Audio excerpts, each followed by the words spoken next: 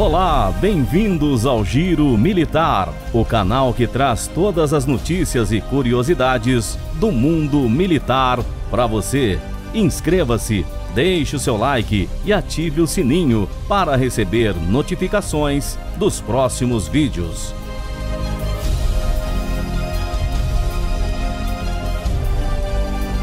Há poucos dias do encontro da Cúpula do Clima, que vai acontecer nos dias 23 e 24 de abril, parece que muita gente já anda mexendo os pauzinhos e jogando contra o Brasil, fazendo de tudo para que o governo brasileiro não chegue a um acordo com o presidente norte-americano. Parece que alguns países não querem um acordo, e sim a floresta.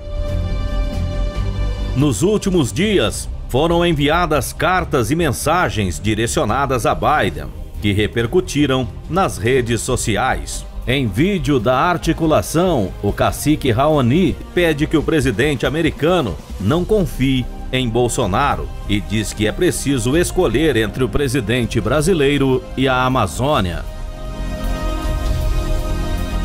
Na quinta-feira, o Fórum Nacional Permanente em Defesa da Amazônia apresentou um manifesto para exigir transparência nas negociações entre os dois países.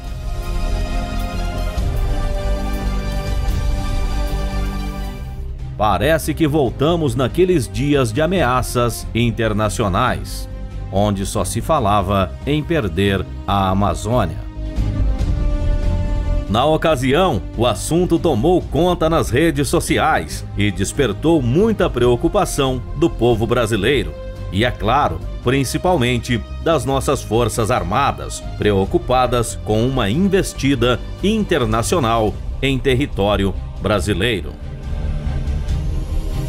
Embora Joe Biden já havia conversado com Bolsonaro no início do ano, países como França, Alemanha, entre outros, e até mesmo com a ajuda de alguns brasileiros, continuaram a colocar lenha na fogueira, querendo a todo custo internacionalizar a floresta amazônica, o que daria uma fatia para muitos.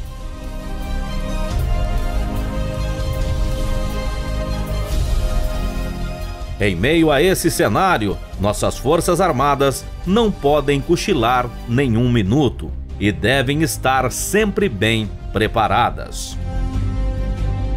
A primeira Brigada de Infantaria de Selva do Exército Brasileiro se movimentou no dia 14 de abril, realizando um apronto operacional de sua força de prontidão Lembrando que essa é uma das forças de emprego prioritário e tem por missão atuar com rapidez nas ações de defesa externa e garantia da lei e da ordem, constituindo-se como uma tropa adestrada preparada para situações de pronto acionamento.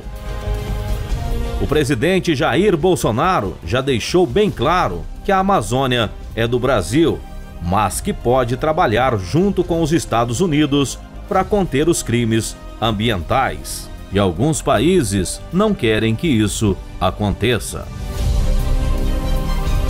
Se gostou do vídeo, deixe o seu like, ele é muito importante para o crescimento do canal. Inscreva-se e ative o sininho para receber notificações dos próximos vídeos. E vida longa ao Giro Militar!